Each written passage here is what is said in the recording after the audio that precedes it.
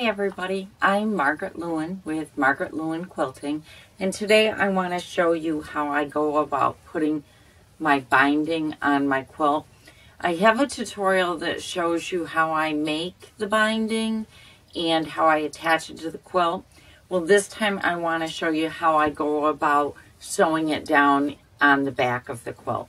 So I'm going to change the angle of the camera up so that you can see exactly what it is that I'm doing.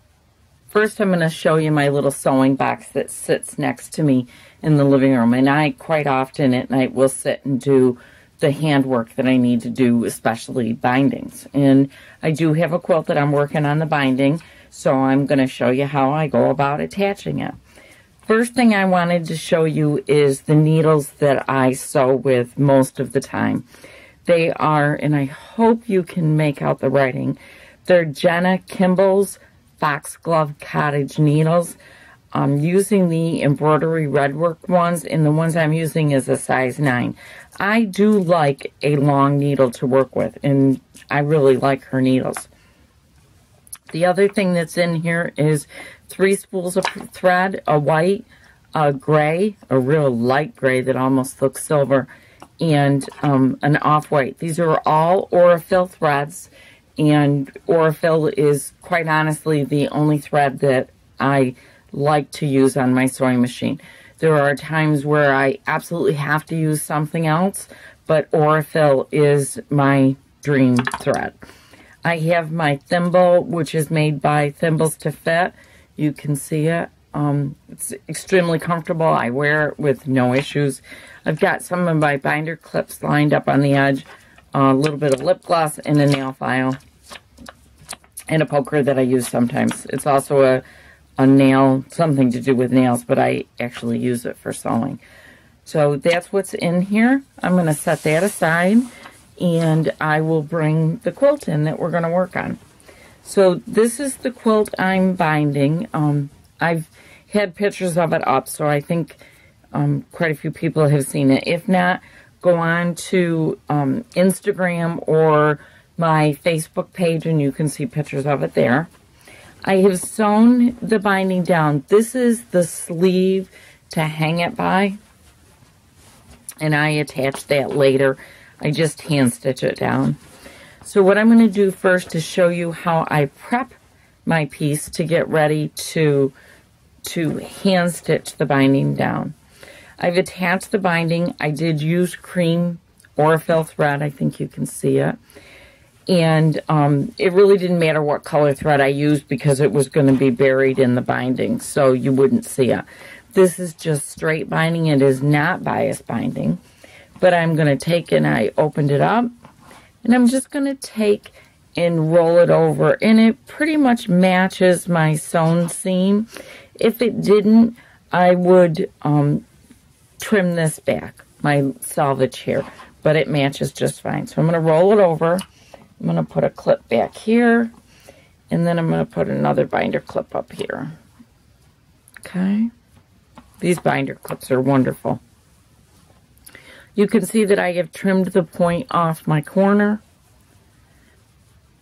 And I'm going to take, I'm laying it flat, taking a look at my front side to make sure that I have somewhat of a point, and I know it's going to be hard for you to see it because it's on black, but um, the big thing is I want to show you how I do my hand stitching so that even though I'm using an off-white thread on black fabric, you're not going to be able to see my stitches. So I take it and I lay it right straight out, keeping it just this side of the stitch line where I attach the binding. I'm going to put another clip on. I'm going to turn it just a little bit, and I'm going to go back farther. And see, I've got this all open here. I'm going to start clipping it back here a little ways. I'm going to do a couple clips. And then once I've done those couple clips, I can move this one back a little bit. Now I can start playing with my corner to make sure that I get it all laying properly. So this side, my fabric goes towards my left. There's less fabric towards the right. So I've got more fabric on this towards the left. So I want my fabric from this side that we're working on to be towards the right so that what will happen is these two pieces will nestle together to create less bulk. So I'm going to take it up, take it all the way to the edge. You see I kind of grab my corner and then I bring it back and I'm laying them down flat to see how well they match. I'm going to bring it closer to you so you can see what I've done. Hopefully you'll be able to see it. See what I've done? I've just brought those two edges together. Now I'm going to clip those. And on those, I just get that clip over it to hold it. I can still see my corners, but I just get the clip over that to hold it. So now I am ready to stitch. I'm going to take my thread. I've got, oh, about an 18 inch piece of thread. And yes, it's off-white, but that's okay. I'm going to take and fold back my binding. And see in this salvage area, I'm just going to do a couple of stitches. I'll do one stitch and then I'm going to go back under and catching that thread between um, my needle and the front of the fabric or the, the backing fabric. And what that does is that just secures it really tight. I'm now going to take my needle and I want to come up with my needle right on the edge of my binding. Where the fold is, that's where I want to come up. So I'm going to bring my needle through and I can feel it in one, just between one layer. And you can see, here comes my, whoop, here comes my needle out. And now push it through. And I am now ready for my very first stitch. To make my stitches, you can see I've got my thread coming out right here at the side, right here. I'm going to take my needle and see if I ran it horizontally. Get an extra thread. If I ran it right at the tip of the thread, that's what I'm doing. I'm going to take my needle, I'm going to run it right towards the tip where the thread came out of the side of the binding. And then I'm going to take my the head of my needle and I'm just going to turn it in just a little bit. Okay? Because what I'm looking to do, if I can turn this over for you so you can see, what I'm looking to do, here's my thread, I'm coming in, I want to come in right at the edge of where this binding was sewn down. I want to take the head, the point of the needle in, and then I'm just going to kind of wiggle it a little bit, and then I'm going to bring it up. When I bring it up, what I'm doing is I'm going to bring it through the first layer of the binding fabric, but not the second layer. And I'm going to bring it out on the very edge of that binding. And I'm going to pull it through. I'm going to do that again. Here's my thread coming out of the edge of the binding. I'm going to take my needle. Here it is straight. I'm going to turn it just a little bit. When I do, I'm going to take it through the... You can see here what I'm doing, again, is just weaving the needle through the fabric. And now I'm going to bring the needle out at the corner or at the side of the folded bias or the folded binding.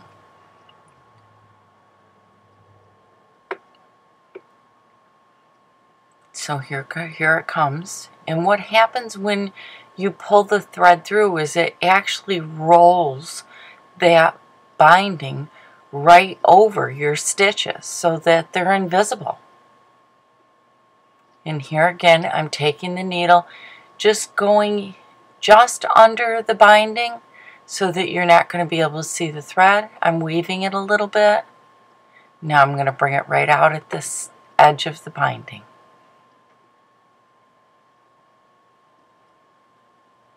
And as you can see, sometimes it takes a little bit of um, couple tries to get it right on the edge where you want it. There's another stitch and you still can't see the white thread. Do that again. And I'm just going to keep going like that all the way up to the corner.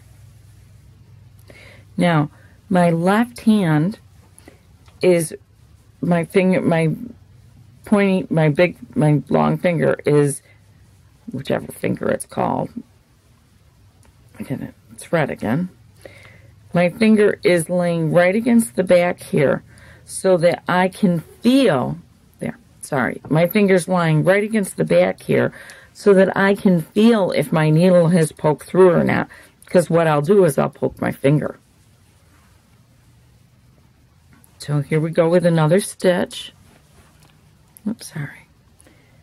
Get back in there. And then I come out. Okay, I'm going to do this all the way up to the corner.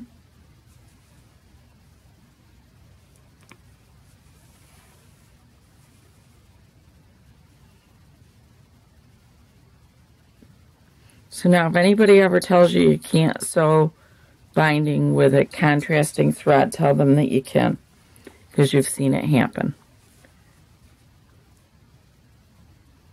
And the only thing that this takes is practice doing. And believe me, once you've sewn, hand sewn a few bindings down, you, you'll be a champ at it. It won't take any more practice and you'll have it. Because it, it really is not difficult.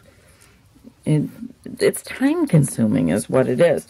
But if you sit there at night watching TV or YouTube, YouTube's perfect for it. You can um, get them done in no time. So now I'm at the corner. I'm going to take my fabric, my binding, and I'm pushing it out straight because what I want to do is I want to sew by hand beyond the line of sewing that attached the binding to the quilt. So I want to sew right up to about here. So I'm going to keep going.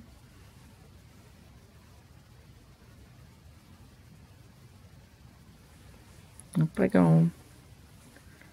Probably one, maybe two more stitches.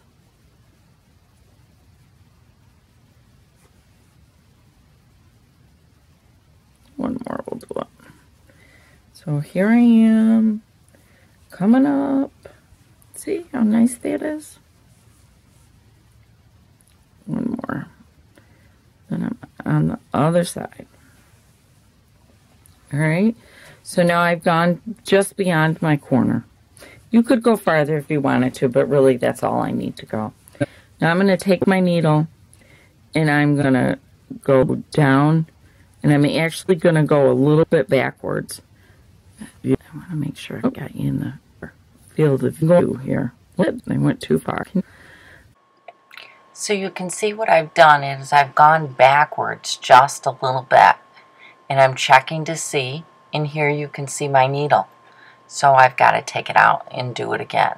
It's important when you get to a point that's a little bit tough to get it through to make sure that you fold your fabric back and see if um, you have gone through. So here I am going back and again just like every other time I'm coming out right on the edge. So I'm going to pull my needle through Now I'm folding my fabric, going to bring it back, and now you can see my point. That's my corner. So now this is probably the trickiest part of the whole. Now that I've got my two sides together, I'm going to take my needle down again, just like I was sewing my regular. I'm going to go down. I'm going to come up again, right through the edge just like you did before. But this time, I'm also going to catch the edge. This is the piece that you have to be careful with. I'm going to also catch the edge of the cross piece.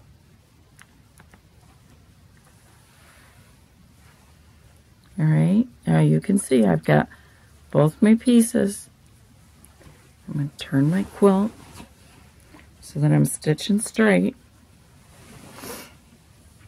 And now I'm going to keep right on sewing. Take my needle down just inside where I came up on the edge. I'm Going to go through those layers, then come back up, just grabbing the, coming out the edge of the binding again, and then I'm going to pull.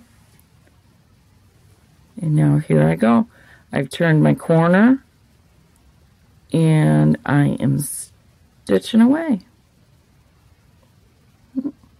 You get to the point that you really can feel where your oh, you get to the point where you can really feel where your needle is through the fabric. And it, it really doesn't take much to get to that stage. And up I go. Now this is a pretty big quilt, so this one's going to take me probably two or three nights to sew. But there you go. There's your corner. Here's my corner there.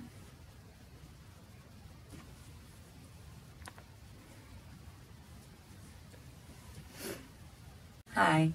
I hope that my little, and I hope it's pretty short, tutorial on how I attach binding to a quilt helps you. Um, again, this is the way I do it by hand. Some people do it by machine. That's just not something that I've been comfortable with. I haven't done it enough to get to the point that I'm really comfortable with it. So I tend to do it by hand. And like I said before, it's something that I sit at night um, with my husband and he'll watch something on TV and I'll sit and, and get some binding done on some quilts. So that's what this tutorial was all about and I hope you enjoyed it. If you um, like this video and would like to see more, please do give me a thumbs up. If you haven't already, please do subscribe to me. And thank you so much. Have a great day. Bye.